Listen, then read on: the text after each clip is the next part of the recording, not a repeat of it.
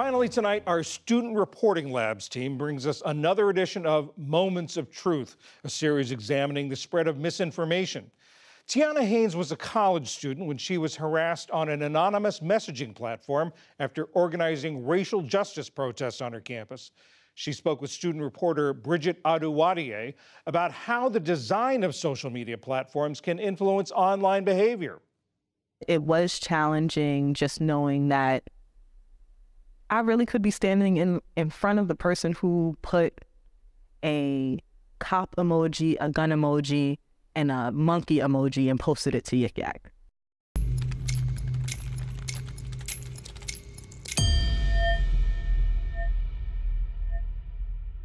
Yik Yak launched a decade ago. It allows people to post anonymous messages within a five mile radius, and it became popular on college campuses in 2015, Tionna Haynes was a student at Colby College in Maine when she was sent hateful and racist messages on Yik Yak. Before I became a student at Colby, there was an incident where black and brown students were actually physically assaulted by security. And we commemorate to say this cannot happen anymore. So I thought, let's try something new by bringing light to light some of the injustices that are happening right now in the country. We did a silent protest. We did active protests during the school day in academic buildings, which people didn't like. Um, and that actually started the Yik Yak posts that happened. On Yik Yak, users could post anything from mundane jokes and random comments to racist, sexist rants. It first appeared in 2013, but was taken down due to diminishing popularity and increased cyberbullying. The app relaunched in 2021 and has recently been acquired by SideChat, another anonymous posting platform.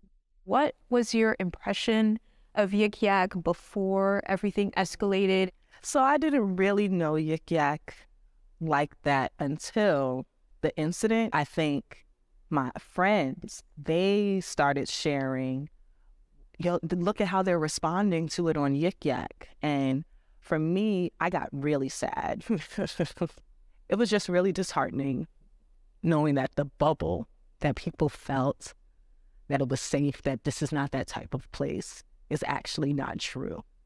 I think the most nerve wracking part of everything that happened on Yik Yak was you didn't know who was making those posts. So you might think you're cool with somebody of a different race, right, of a different background, of a different ec- a socioeconomic status, but you see a post and you're wondering, is that somebody I just ate food with? Is that someone that I just studied with?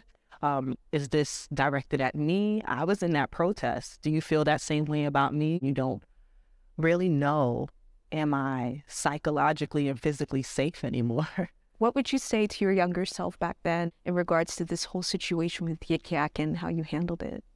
I would say to my younger self, Tionna, keep going. Keep going. No regrets. You'll stand up for your students. You'll stand up for their families and your future job. You'll start seeing how you can still be true to yourself and um, get what you can out of this life. To watch all the episodes in our Moments of Truth series, visit studentreportinglabs.org slash moments of truth.